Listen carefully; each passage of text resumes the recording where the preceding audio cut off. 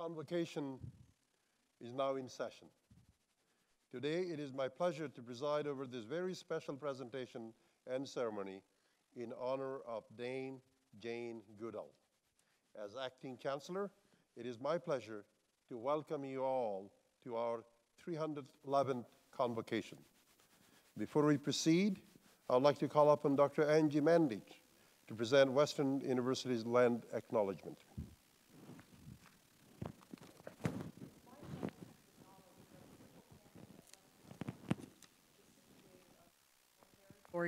Of the Anishinaabe, Haudenosaunee, Lenape, and Attawandaron peoples, all of whom have had long-standing relationships to the land of southwestern Ontario and the City of London. The First Nation communities in our local area include Chippewa of the Thames First Nation, Oneida Nation of the Thames, and Munsee Delaware Nation. And in our region, there are 11 First Nation communities, as well as a growing Indigenous urban population. Western values the significant historical and contemporary contributions of local and regional First Nations and of all the original people of Turtle Island, also known as North America. Miigwech, thank you.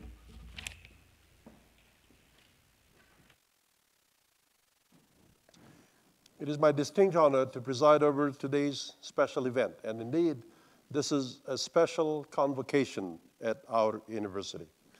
Dame Jane Goodall, a champion of animal rights and an inspiration to all of us at Western, including our students, faculty, staff, and alumni, is here to speak to us about her wonderful experiences.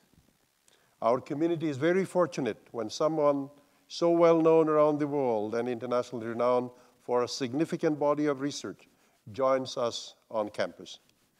In honor of her visit, we are gathering for a special presentation and to also confer an honorary degree upon Dame Jane Goodall in acknowledgement of her outstanding career as an internationally recognized primatologist and ethologist, and in recognition of the excellence that she exemplifies as a leading advocate for conservation, animal welfare, and environmental sustainability.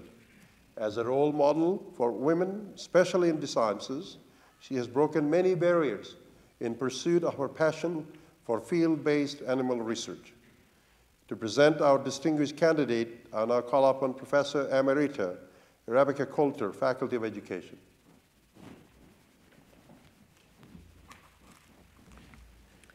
Dr. Jane Goodall. Dr. Jane Goodall has been called a naturalist, an ethologist, a primatologist, and an anthropologist. She is described as an advocate for chimpanzees, an environmental activist, a conservationist, a mentor, a teacher, and an ambassador for peace. And the truth is, that this amazing woman is all those things. And what's more, she'll show you how to pant hoot like a chimpanzee.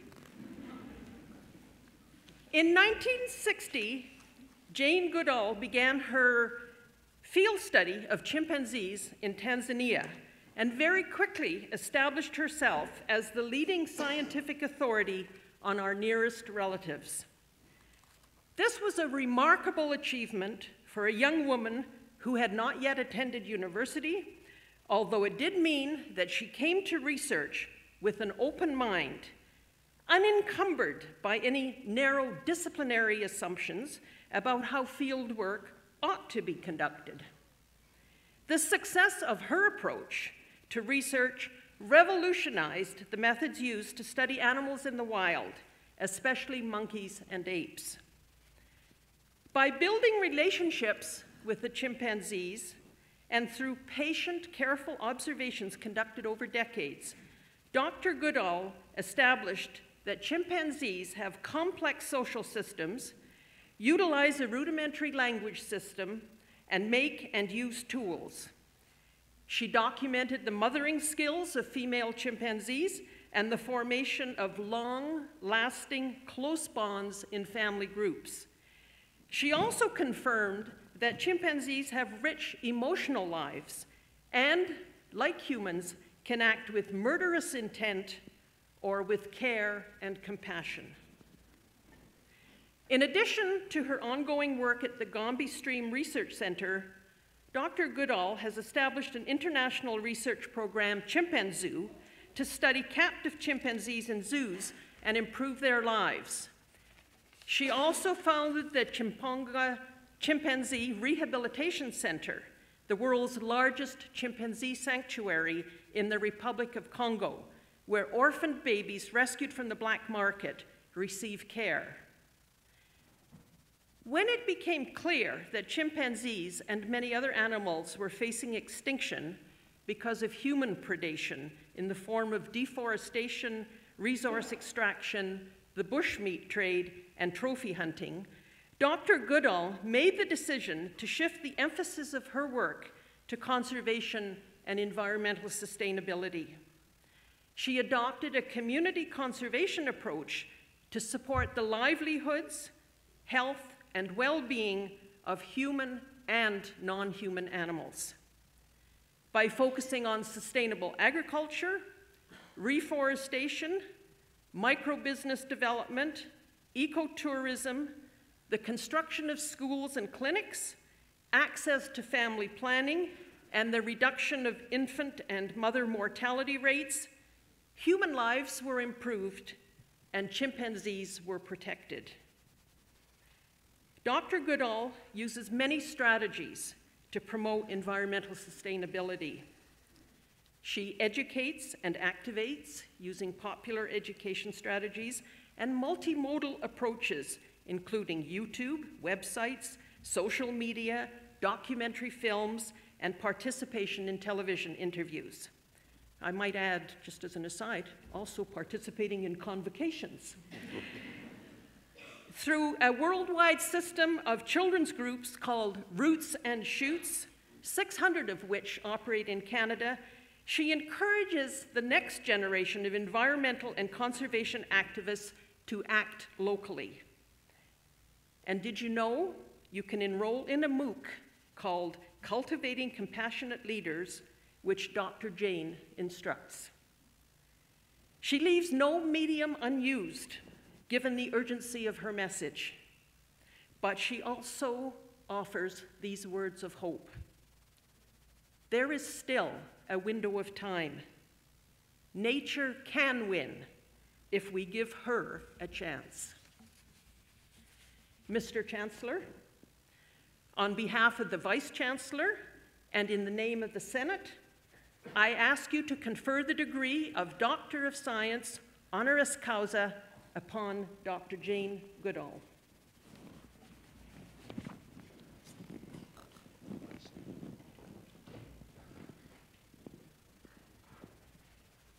By virtue of the authority vested in me as acting chancellor, I admit you to the degree of Doctor of Science honoris causa. Congratulations, Dr. Goodall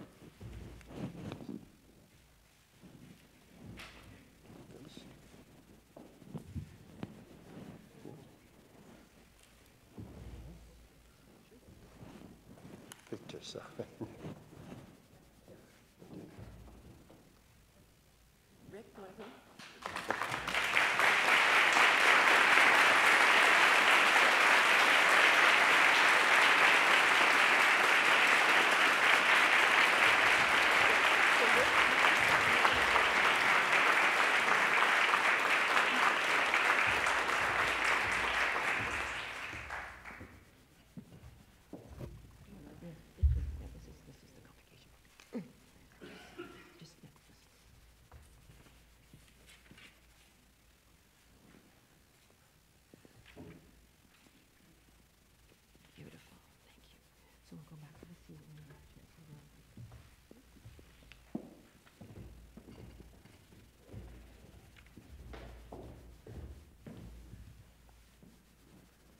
On behalf of all assembled here today, it is a pleasure and honor to invite our newest alumna, Dr. Jane Goodall, to address convocation.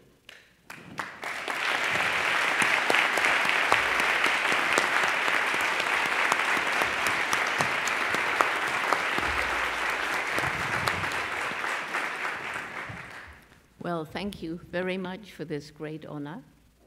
And I'm very proud to be standing but apparently I am to give you a greeting that you would hear if you came with me to Gombe National Park in Tanzania.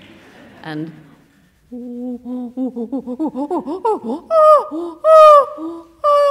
and that simply means this is me, this is Jane.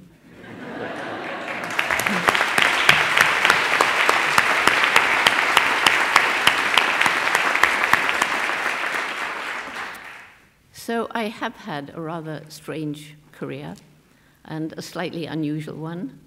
And I want to start off by congratulating my amazing mother who supported my love of animals when I was just a very small little girl taking earthworms to bed.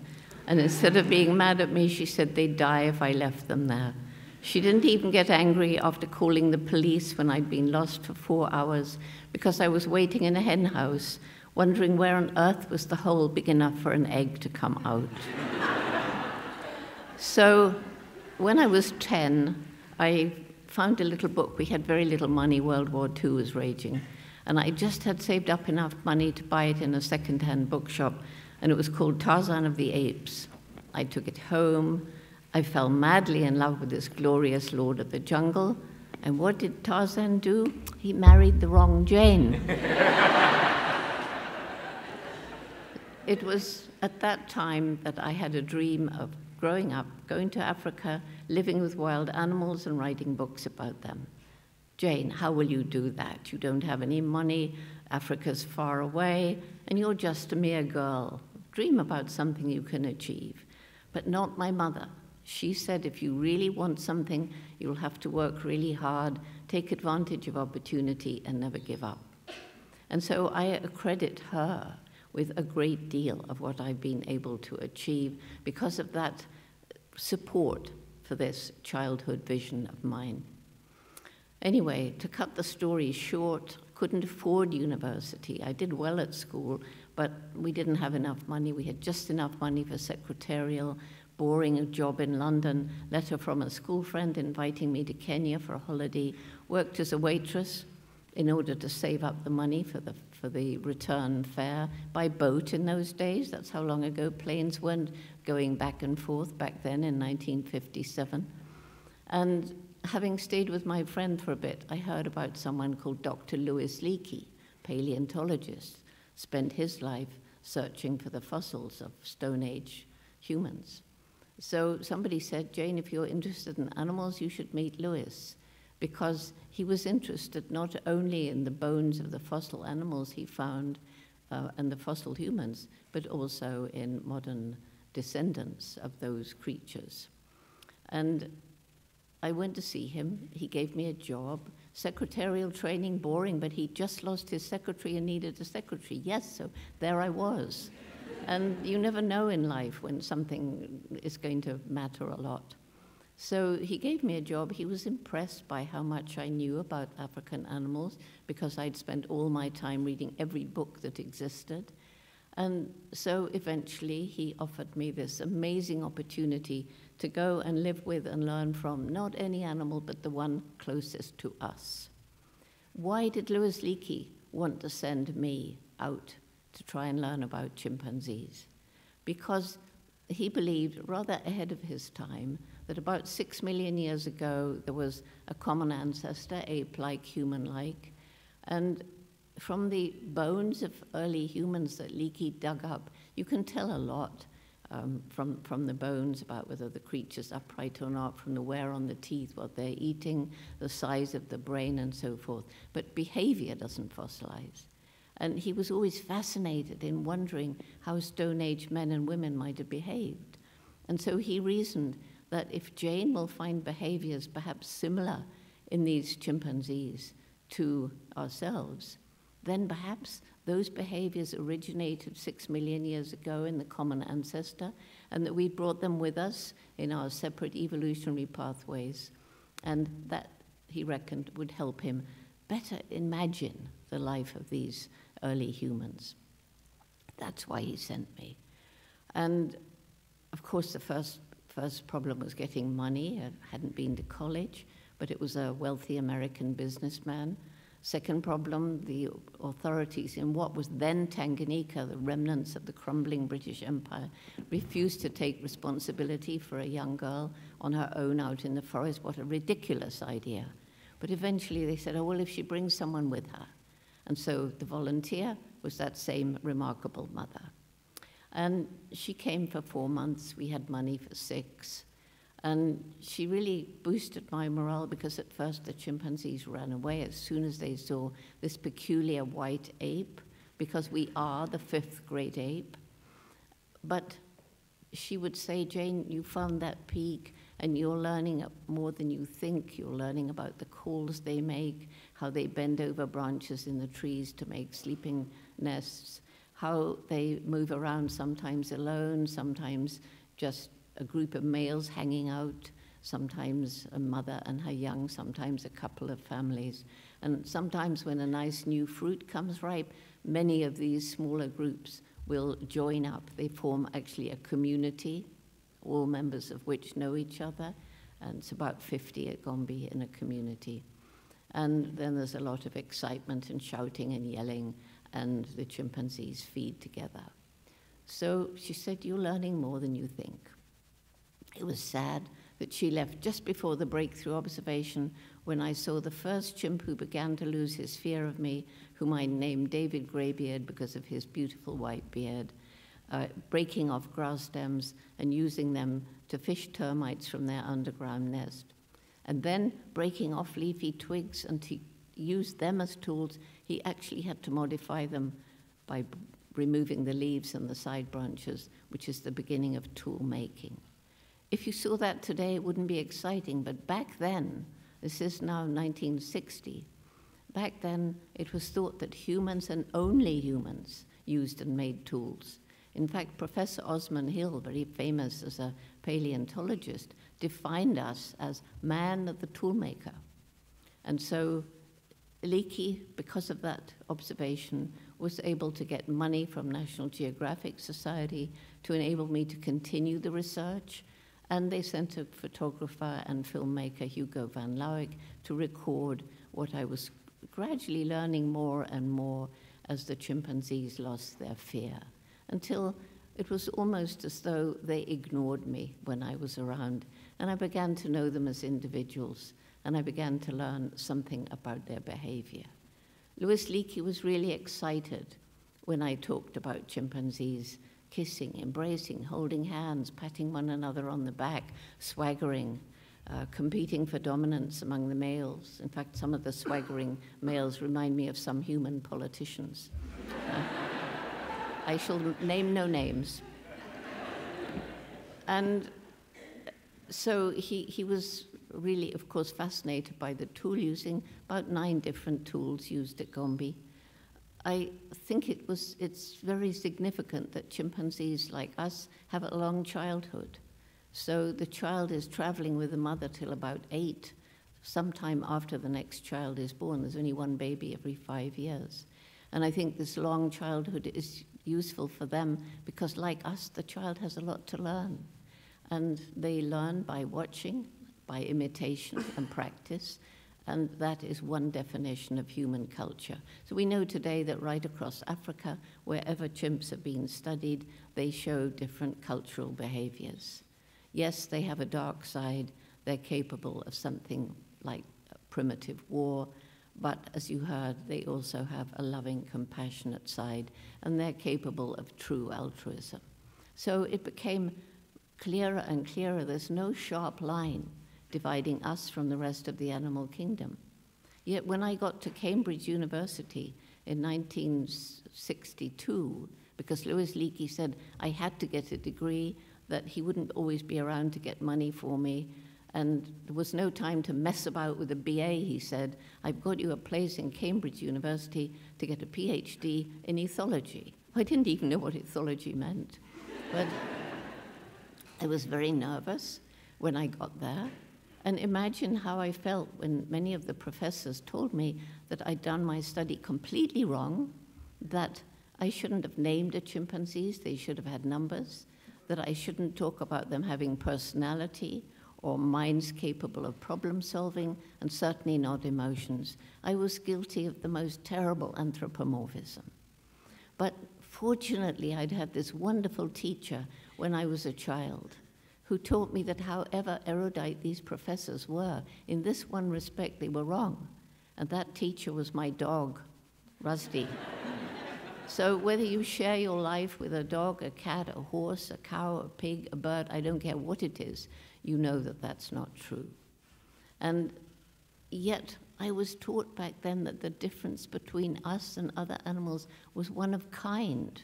Now we know partly thanks to the chimpanzees, we've made a breakthrough in scientific thinking. And we know now that we are truly part of the animal kingdom. And there are now students studying not just in monkeys and apes, but in many other kinds of animals, including birds and octopus and even insects. They're studying personality differences, they're studying emotions in some of those animals anyway, and in all those that I've mentioned, they're studying intelligence. We're learning more and more all the time about how arrogant we've been. And we learn new respect for these other creatures. I think one of the reasons that the chimpanzees were so helpful in breaking down this, this uh, antiquated thinking was that we, we have learned how like us biologically the chimpanzees are, so that in the composition of DNA, we and chimpanzees and bonobos, we differ by only just over 1%. And there are striking similarities in the immune system, in the composition of blood, and the anatomy of the brain. And so, as I say, we recognize today that we are part of the animal kingdom. How tragic that we are so fast destroying this planet. I talked about the similarities between us and chimpanzees. What's the main difference? Of course, there are many, but to me, it's the explosive development of the intellect. And yes, chimpanzees and other animals are way more intelligent than we used to think. But for heaven's sake, we've designed a rocket that went up to Mars, and a little robot crawled out and was taking photographs for years. And we've seen those photographs. Mars doesn't look very hospitable for us to go and colonize. We've got one planet, planet Earth.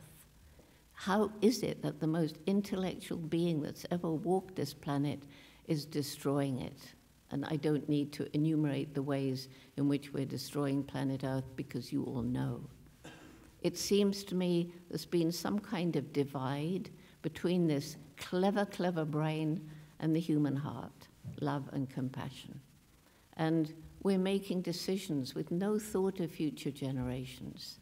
The, it was Chief Seattle who said, We haven't inherited this planet from our parents, we've borrowed it from our children. We've been stealing their future, and we're still stealing it today. And I truly believe that only when head and heart work in harmony can we attain our true human potential. But yes, I will end by saying I do believe there's a window of, of hope for us but only if each and every one of us does our part. And it's so important to remember because people say to me, But Jane, I know we're harming the planet, but what can I do? I feel useless, I feel helpless. And so people sink into apathy and do nothing. And it's so important to remember that each and every one of us makes some kind of difference each and every day the consequences of the small choices we make. What do we eat? What do we buy? What do we wear? Where did it come from? Is it cheap because of child slave labor? Did it involve horrific animal cruelty, like the intensive farms? Did it harm the environment, like so many of the products we buy do? And if we start making ethical choices, then indeed we shall move towards a better world.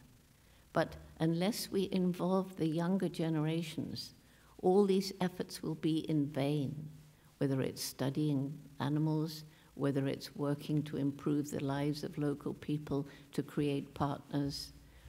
It's all of no use if we don't help the young people to be better stewards than we've been. And that's why I began this Roots and Shoots program, began in Tanzania in 1991, and it began with 12 high school students It's now in 100 countries. We have young people of all ages, preschool, very strong in university, and I'll be very sad if there isn't a very strong Roots and Shoots group here soon. And we've also got all the people who've been through the program. Today, it's about 150,000 active groups in 100 countries, all understanding that each and every day, each one of them makes a difference. And that applies to us too. So thank you very much.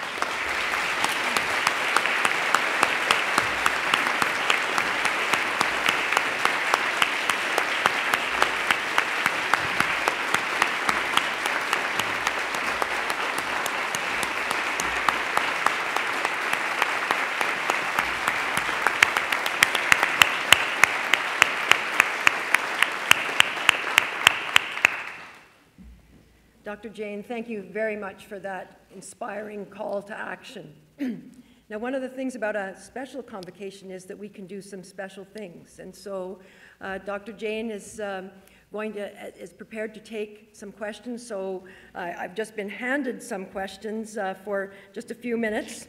I need to take care of time as well as you took care of time. So I'll just, uh, I'll just start. We may only get through a couple, but um, are you game? Okay, so I guess you need, to, you need the other microphone, so. I can't promise to answer them all, but I can try.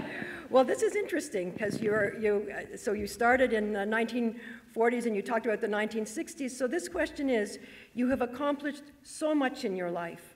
What would you like to do next? Well, do you know what I'd really like to do next? I'd like to discover what happens when we die because there's either nothing or there's something. And if there's something, then that will be such an exciting thing to discover. And do you, you, think get, you can you give messages 80, back? What? so we'd all know? yeah, but you know, when you get to be 84, you start thinking about those things. Yes. And so many people have said, I never looked at it like that. Now I don't mind thinking about dying. Okay, this is maybe a more controversial one. Um, a little bit. So the question is, what is your opinion on zoos? Are they powerful educational tools or are they cruel? It, it depends very much on the zoo and the kind of animal in the zoo. I think there are some animals like elephants, whales, dolphins, um, and a few more that should never be in zoos unless they're real huge sanctuaries. But I think what, you know, the the good zoo today, they've learned a lot since I, when I began, all zoos were terrible. They were just little bleak, bare prisons, and terrible for me to go and see chimpanzees in that situation. Even worse in the medical research labs, where, of course, they were experimented on because they're so like us. But now zoos have begun to understand that animals need enriched lives, that it's very boring if they have nothing to do, which is why I started this chimpanzee program. And also, we have to think of the life of animals in the wild. So often it sounds idyllic, living in wild and free. But if I think of the chimpanzees, in so much of their range, they live in fear. There's the sound of the chainsaws coming closer. There are wire snares that they get that they get their hands or feet caught in. They're being mothers are being shot to export babies still to Asia as pets or for entertainment. And so, you know, a really good zoo. I know so many people who've said to me, well, it was in a zoo, I looked into an animal's eyes, and I realized I was looking into the eyes of a thinking, feeling being. And many people who've gone on to study wild animals uh, started off in zoos. And also, the, the best zoos are raising a lot of money for conservation mm-hmm. and sending people out to help conserve wildlife. So, close the bad zoos never put some animals in a zoo, but they're not all bad. Great. Well, thank you for that. Um, so, let's see. So we have one from one of our some from someone in the audience who's only 12, and she asks, when you were just starting out, did negative comments make you want to stop or keep going? Did whose comments? Negative comments. Did negative, negative comments. comments make you want to stop doing what you were doing or keep going? Of course not.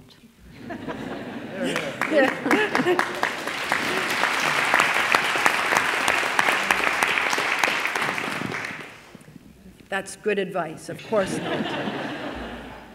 My mother taught me if you meet somebody who disagrees with you, number one, listen to them because maybe they've got some points you never thought of.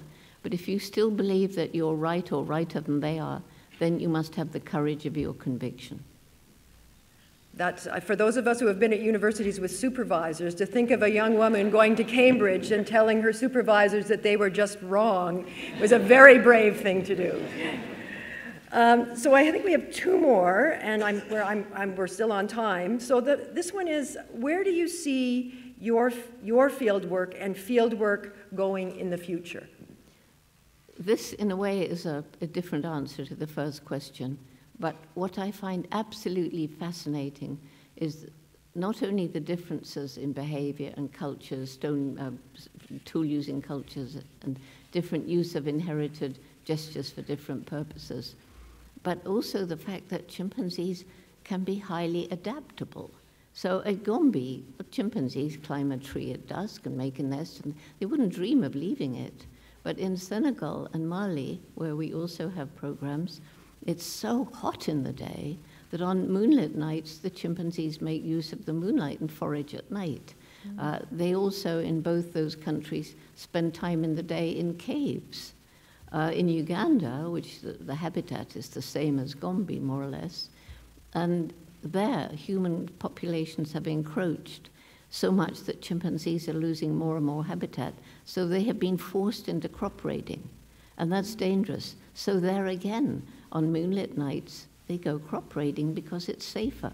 So it's this adaptability and differences between cultures. So one of the things the Jane Goodall Institute is emphasizing is we don't just want to protect the hotspots where there's lots of forests and lots of chimps. We want to protect cultural diversity. Fantastic. So the last question actually speaks to this call, of call to action. So the question is, what do you think is the single biggest challenge affecting, affecting wildlife right now, and what can I do about it? well, of course, I suppose it, it, depends where you are as to which the biggest challenge is, but there's no gainsaying that climate change is, is affecting people and animals and habitat everywhere, and it's getting worse. It's getting worse. So it, it's difficult to think when you are trying to tackle a big thing like climate change. But on the other hand, going back to what I said before, if we're all making ethical choices, if we can move away from the use of fossil fuel, if we think about what each one of us does, that's what we can do. Some people can do more. Some politicians can just sign a, a bill and make huge change. CEOs of big companies can do the same. And, you know, I love to think that not only our roots and shoots groups, but other groups too, of young people who are understanding from the beginning what we're doing, that we'll be in time for them to make the kind of difference that we need to make. So it sort of reminds me of the notion of a mile is too far, but we can each take the first step. That's right. Fantastic. So could we have a round of applause for our honorary educators?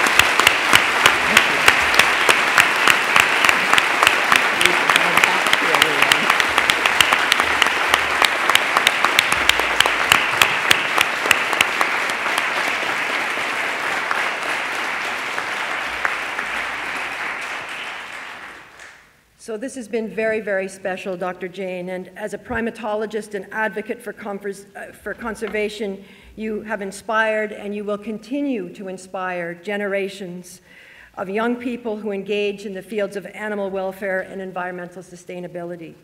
We at Western are so very pleased and honored to recognize your many contributions to primate research and your humanitarian efforts both in Canada and around the world.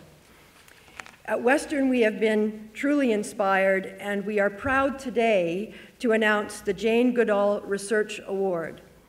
A $5,000 award will focus on providing financial support to Western graduate students investigating great ape populations in Africa or Asia.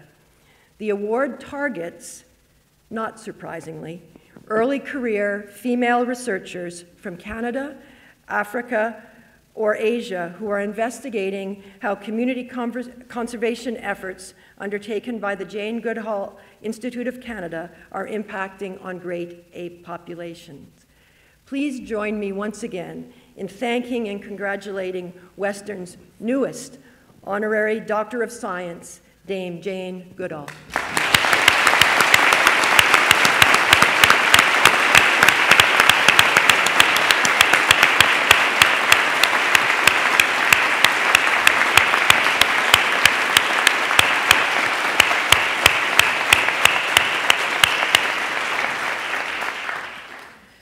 I'd, I'd, also like to take some time to recognize the members of the university community who are here with us today. Western's Board of Governors is charged with the responsibility for overall governance of this institution. Today we have with us Mr. Paul Jenkins, who is our chair of the Board of Governors, and I'd ask him to stand and be recognized.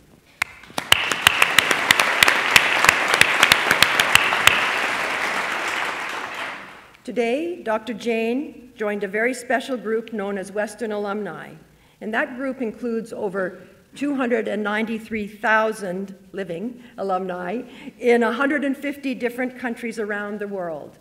Mr. David Simmons is a president of our Alumni Association, and he is here today, and I invite him to say a few words.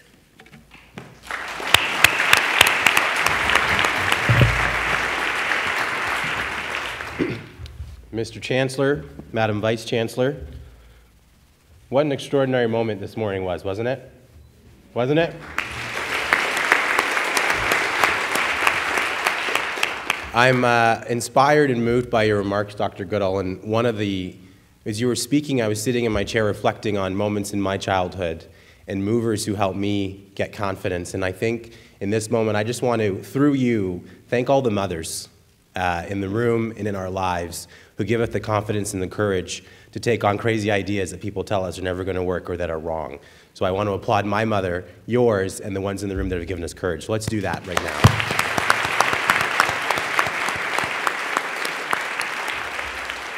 It's an honor to hear you speak today and a privilege uh, for me and all of us in the room to welcome you to Western and to the Davenport Theater.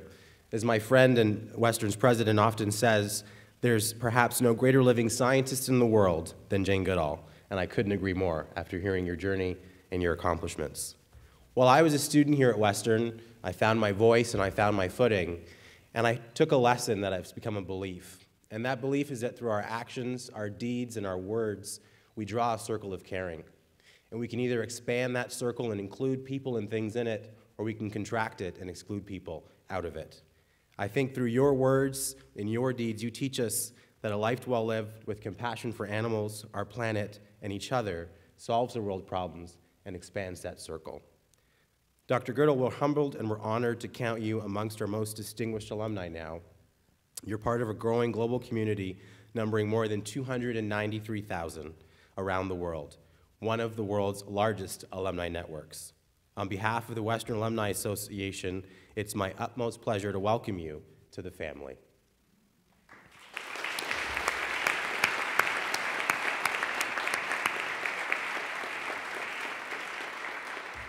I have a gift for you, Dr. Goodall. The gift is an Inukshuk. The word Inukshuk means that which acts in the capacity of a human. This is a fitting gift as your life's work challenges us to reconsider human relationships to other species and ultimately what it truly means to be human.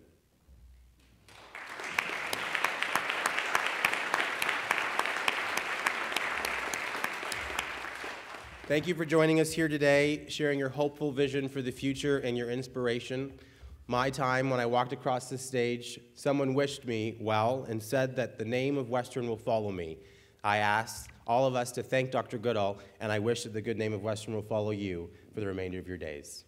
Congratulations.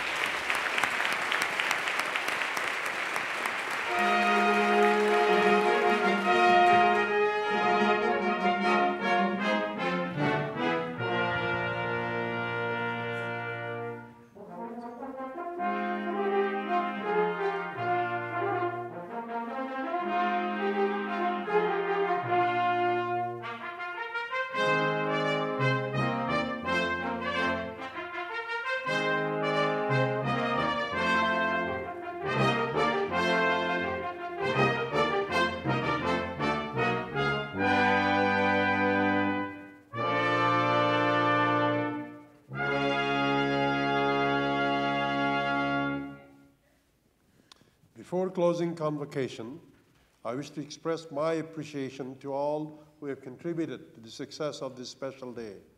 In particular, and on your behalf as well, I want to thank the Don Wright Faculty of Music, their Dean, Betty Young Younker, and the talented musicians that provided us with their magnificent performance.